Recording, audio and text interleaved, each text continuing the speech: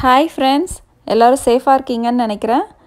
இன்றைக்கி நம்ம beans stir fry recipe செய்ய போகிறோம் ரொம்ப ஈஸியாக செஞ்சிடலாம். இதை வந்து நீங்கள் ஸ்டார்டர் இல்லைனா ஸ்நாக்ஸ் எப்படி வேணாலும் யூஸ் பண்ணலாம். அதுக்கு ஃபஸ்ட்டு தேவையானது ரெண்டு ஸ்பூன் எண்ணெய் ஊற்றிக்கோங்க அது கொஞ்சம் சூடானதும் ஒரு ஏழு எட்டு பல் பொடி பொடியாக நறுக்குன பூண்டு போட்டு நல்லா வதக்கிக்கோங்க. ஒரு ரெண்டு நிமிஷம் வதக்கினா போதும். ஸ்லைட்டாக கலர் மாறணும். ரொம்ப நேரம் வதக்கிட்டிங்கன்னா அது கொஞ்சம் ப்ரௌன் ஆகிடுச்சுன்னா கடைசியில் வந்து ரொம்ப கருகிடும். அதனால் ஸ்லைட்டாக மட்டும் வதக்கிக்கோங்க. அடுத்தது பீன்ஸ் வந்து ஒரு இரநூறு கிராம். இது வந்து பீன்ஸ் வந்து ரொம்ப இளம் பீன்ஸாக இருக்கணும். ரொம்ப முத்தினதாக இருக்கக்கூடாது. முத்தினதாக இருந்துச்சுன்னா நல்லா இருக்காது. ஒரு மாதிரி சக்க சக்கையாக இருக்கிற மாதிரி இருக்கும். அதனால் நல்லா டெண்டரான பீன்ஸாக பார்த்து எடுத்துக்கோங்க. இதை ஒரு ரெண்டு மூணு நிமிஷம் போல் நல்லா மிக்ஸ் பண்ணிக்கோங்க. மிக்ஸ் பண்ணிவிட்டு ஒன்று ஒன்றா தனித்தனியாக கல்லில் இருக்கிற மாதிரி பார்த்துக்கோங்க. அதுக்கப்புறம் மூடி போட்டு மூடி வச்சு ஒரு ரெண்டு நிமிஷம் மட்டும் வேக வைங்க. நிறைய பீன்ஸ் போட்டு ஒரே சமயத்தில் செய்யாதீங்க.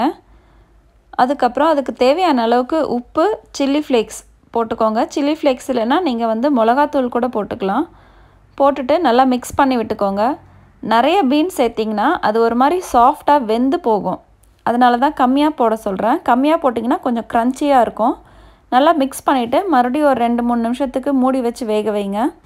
இது ரொம்ப டெண்டரான பீன்ஸுன்றதுனால சீக்கிரமாகவே வெந்துடும் அதுக்கப்புறம் எலுமிச்சை பழம் ஒரு கால் பழம் போல் புழிஞ்சு விட்டுக்கோங்க. அது கூடவே கடலையை வந்து வறுத்து குறை குறைன்னு பவுடராக அரைச்சி வச்சுருக்கேன். அது ஒரு மூணு டீஸ்பூன் சேர்த்துக்கோங்க. பவுடராக அரைக்கக்கூடாது. இது கொஞ்சம் கோர்ஸாக தான் அரைக்கணும். இதுக்கு வந்து பீன்ஸ் நல்லா க்ரன்ச்சியாக இருந்தால் தான் நல்லாயிருக்கும் அதனால் ரொம்ப நேரம் வேக வச்சிடாதீங்க. அடுத்தது அது கூட ஒரு அரை டீஸ்பூன் அளவுக்கு எள் ஒயிட் இல்லைன்னா பிளாக் எது வேணாலும் சேர்த்துக்கலாம். சேர்த்துட்டு நல்லா மிக்ஸ் பண்ணிக்கோங்க. மிக்ஸ் பண்ணிவிட்டு ஒரு கால் டீஸ்பூன் அளவுக்கு மிளகுத்தூள் இல்லைன்னா உங்கள் காரத்துக்கு தகுந்த மாதிரி போட்டுக்கோங்க. அது கூட ரெண்டு டீஸ்பூன் அளவுக்கு தேன் ஊற்றிக்கோங்க இல்லைனா உங்கள் ஸ்வீட்னஸ்க்கு தகுந்த மாதிரி அதிகமாகவோ கம்மியாகவோ சேர்த்துக்கலாம். ஸ்டவ்வை ஆஃப் பண்ணிவிட்டு நல்லா மிக்ஸ் பண்ணிவிடுங்க அவ்வளோதான் ரெடி ஆகிடுச்சு இதில் இனிப்பு புளிப்பு காரம் எல்லாமே இருக்கிறதுனால ரொம்ப நல்லாயிருக்கும் சாப்பிட்றதுக்கு. ஈவினிங் டைம் ஸ்நாக்குக்கு ஸ்டார்டருக்கெல்லாம் வந்து ரொம்ப நல்லாயிருக்கும். ஹெல்த்தியான ரெசிபி கண்டிப்பாக ட்ரை பண்ணி பாருங்கள் மறுபடியும் இன்னொரு வீடியோவில் பார்க்கலாம். Until then bye take care